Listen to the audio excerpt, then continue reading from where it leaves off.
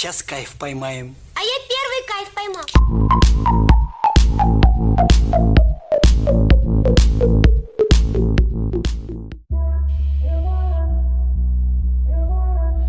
Hola de nuevo a todos, soy Canina Racing, bienvenidos a Todo Vapor. Hoy venimos a hablar de un asunto que muchos de vosotros ya conoceréis y la mayoría, todo aquel que esté un poquito informado, más o menos habrá escuchado hablar un poquito de él.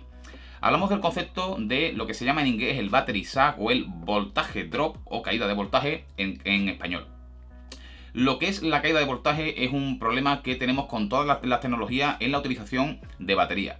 Por ejemplo, con las baterías de plomo que utilizan, por ejemplo, los vehículos, o las baterías de níquel metal hidruro o níquel cambio que utilizamos, que son normalmente las baterías recargables, AA o AAA, que por ejemplo utilizamos para mandos a distancia y este tipo de cuestiones, y también en las baterías de litio que utilizamos en los dispositivos de vapeo, todas las tecnologías de batería sufren de un problema que es que cuando las sometemos a una descarga, en función de la intensidad de que sea esa descarga, si es más fuerte o es más floja, entonces el voltaje de la batería cae.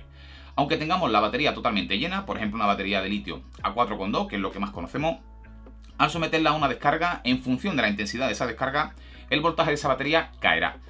Muchas veces habréis visto que incluso en el canal hemos hecho aquí algunas mediciones, por ejemplo, de conductividad en mod mecánico, para ver qué caída de voltaje tenía ese mod. La mayoría de toda esa caída de voltaje no es atribuible, no es atribuible al mod. Siempre que yo he hecho ese tipo de, de mediciones, lo he hecho comparando, por ejemplo, dos mods misma batería, mismo atomizador y midiendo únicamente las diferencias de voltaje atribuibles al mod. Pero esas diferencias siempre son muy muy pequeñas, como mucho una décima, una décima y media o dos de voltio. Todo el resto de caída de voltaje, en una medición por ejemplo normal con una resistencia baja en un mod mecánico, la caída de voltaje puede llegar a ser hasta de un voltio, el resto, esos 0,8, 0,9 voltios, son atribuibles a la caída de voltaje de la propia batería es una cosa con la que no podemos luchar. Todas las baterías de litio, que son las que utilizamos habitualmente y son las que nos vamos a centrar a partir de ahora, tienen ese problema. Vamos a intentar eh, sacar algunas conclusiones y qué ocurre con este tipo de problemas. Todos hemos escuchado hablar ya que las baterías que se recomiendan para utilizarse en vapeo deben de tener una tasa de descarga en continuo bastante alta. Una batería que no tenga una tasa de descarga muy alta, al someterla a una descarga bastante intensa, entonces su voltaje bajará muchísimo, ya que la batería intentará convertir siempre su voltio en amperios. Imagina, por ejemplo, que tenemos una batería que da solo 5 amperios de descarga en continuo.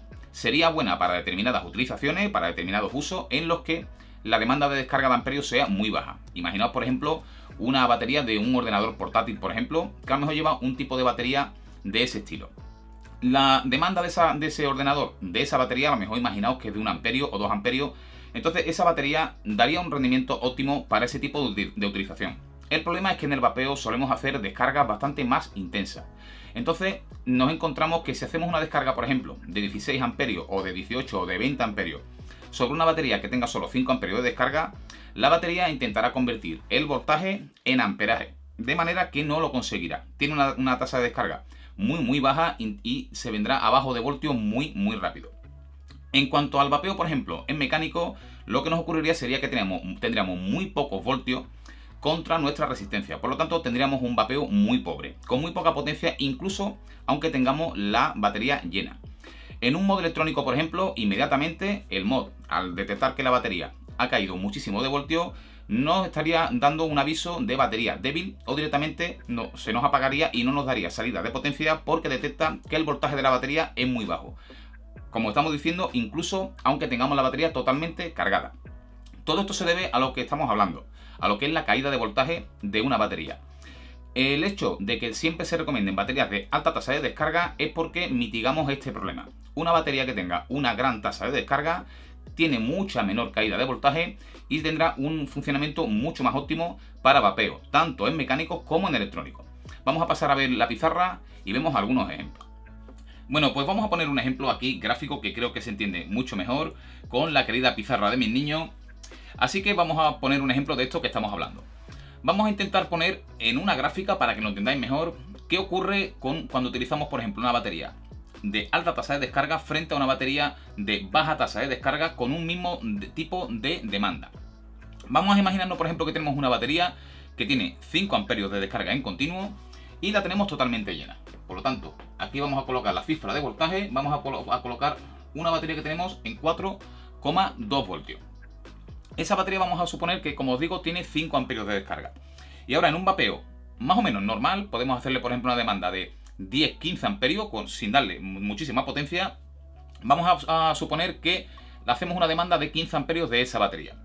Lo que ocurriría sería que en el momento que pulsáramos, la batería ya no nos daría 4,2 voltios. La batería directamente tendría una caída, que es, lo que se, es lo que se conoce como ese battery sag o esa caída de voltaje de la propia batería. Caída que en función de esa demanda, en este caso que estamos poniendo como ejemplo, sería de 15 amperios frente a una batería de 5 amperios, lo que pasaría sería que la batería intentaría dar el máximo de potencia posible y no lo conseguiría. Por lo tanto, se hundiría en cuanto a voltaje. Vamos a suponer que la batería, como decimos, está a 4,2 y vamos a poner un voltaje mínimo más o menos en el que solemos dejar toda la batería. Vamos a poner, por ejemplo, 3,3 voltios, que ya sería prácticamente una batería vacía. Lo que ocurriría en el momento que pulsáramos, ya sea el modo mecánico o electrónico, da exactamente igual. Cualquier modo intentaría chupar toda esa cantidad de amperios de la batería y el comportamiento de la batería sería exactamente el mismo. En ese mismo momento lo que ocurriría sería que la batería, esa batería de 5 amperios, descendería en voltaje hasta aquí. Prácticamente hacia lo que sería una batería descargada.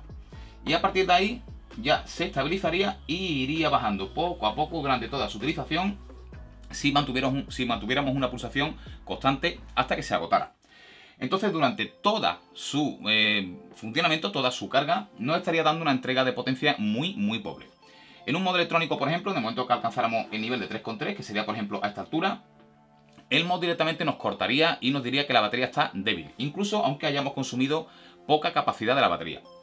Sin embargo, si utilizamos una batería que tenga una alta tasa de descarga, vamos a poner por ejemplo una batería de 25 amperios, y hacemos esa misma demanda de 15 amperios que estamos poniendo como ejemplo, lo que ocurriría, en este caso vamos a ponerlo en otro color, es que la batería en vez de caer hasta aquí, caería mucho menos. Caería, por ejemplo, hasta aquí. Y a partir de ahí ocurriría exactamente lo mismo. La demanda de, consumo haría que iría, fuera bajando poco a poco hasta el final de su carga.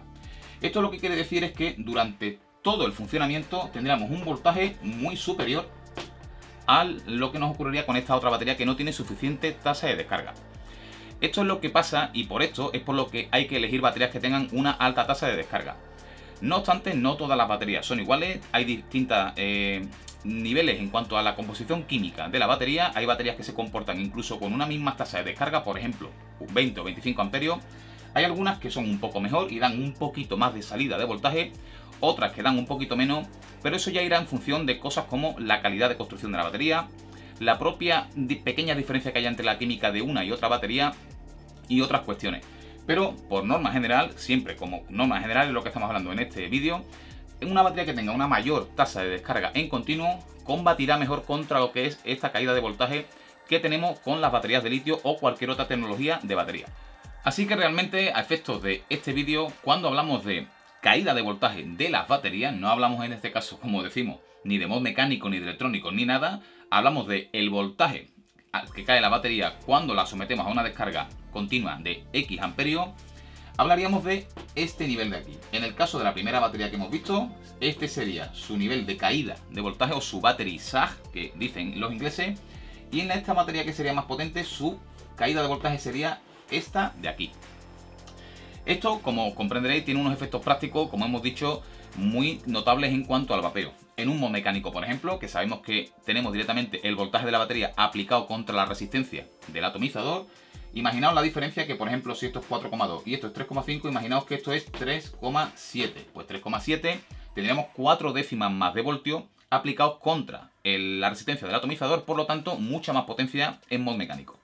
Y en modo electrónico tendríamos también un rango de utilización mucho más amplio hasta que el mod detectara que el voltaje no es suficiente y lo diera como que es una batería que ya se encuentra descargada. Y nos diera esas señales de weak battery o directamente que la batería está vacía, incluso aunque si en ese momento dejáramos de pulsar, el voltaje se recuperaría y estaría en un nivel de batería cargada. Pero nos encontraremos ese problema y por esto es por lo que tenemos que utilizar siempre baterías con alta tasa de descarga para evitar este tipo de problemas. Además, esto ocurre una cosa muy gráfica y que quiero que entendáis aquí. En el caso de que, por ejemplo, tengamos aquí una capacidad de 2000 mAh, vamos a poner aquí 2000 mAh de capacidad, Estas dos baterías, imaginaos que son dos baterías de 2000 mAh, pero esta describe esta curva, esta que hemos visto aquí, y esta otra roja describe una curva que va más arriba.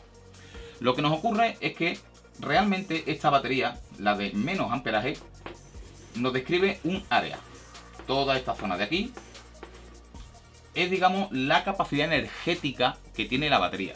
Nos estaría dando un determinado nivel de voltios aplicado con un amperaje durante determinado tiempo hasta alcanzar esos 2000 mAh.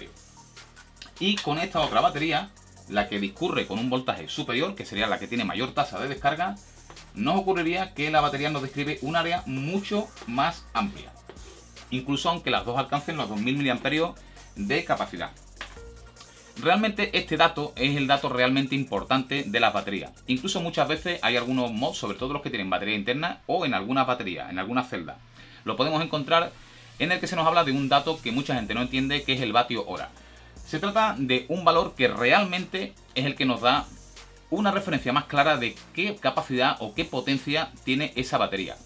Entonces, esta área será mayor o menor en función de la potencia del comportamiento real de la batería.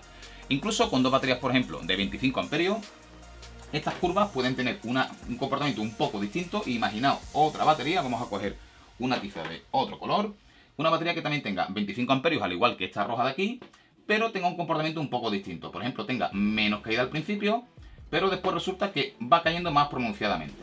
Y aquí se cruzan. Eso hace que el área de esta otra batería tenga un tamaño distinto a la primera que hemos visto.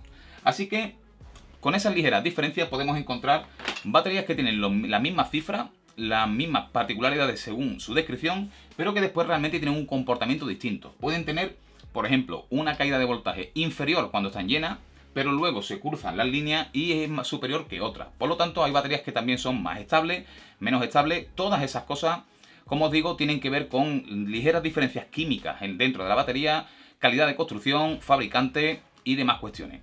Pero siempre lo que tenemos que encontrar como dato que siempre tenemos que mantener constante es que las baterías tienen que ser de bastante tasa de descarga, muy superior a lo que necesitemos por nuestro estilo de vapeo o por nuestro tipo de dispositivo que estemos utilizando. De esa manera siempre tendremos menos caída de voltaje y le sacaremos mucho mejor rendimiento a la batería, mucho más duración. Bueno, pues ya habiendo visto este concepto de la caída de voltaje de la propia batería, no hablamos de la conductividad de los mods, ni en mecánico ni en electrónico, simplemente hablamos de lo que es la caída de voltaje de la tecnología de las baterías de litio, todas le sucede. Hay baterías que tienen mayor o menor caída. Hay baterías que se comportan, por ejemplo, un poco peor al principio, tienen más caída al principio, pero luego se mantienen un poco más estables durante todo lo que es su, su descarga, todos sus miliamperios de descarga. Hay baterías que se comportan mejor a batería llena y luego caen más pronunciadamente y cuando llevamos poca escalada, entonces ya se comportan mucho, mucho peor porque se descargan muy pronto. Todos estos datos los tendremos que tener en cuenta para elegir la batería que mejor se adapte a nuestro estilo de vapeo o la demanda que queremos hacer de ella. Es una, es una tarea que muchas veces localizar una batería es bastante complicado. Yo casi siempre suelo recurrir a las tablas de Much. Much hace unas descargas de las baterías siempre a los mismos valores de intensidad, por ejemplo 10, 20, 30 amperios, y viendo esto que hemos visto aquí, el dibujo que va generando su gráfica de descarga, muchas veces podemos ver qué batería es la que se comporta mejor, por ejemplo, cuando está llena o de mitad de carga en adelante, o a lo mejor durante las primeras escaladas da un poco más de salida de voltio, a una misma tasa de descarga en continuo, pero rápidamente la otra le adelanta y se comporta mejor durante el resto de funcionamiento hasta que se descarga, puede ser un poco arduo, un poco complicado.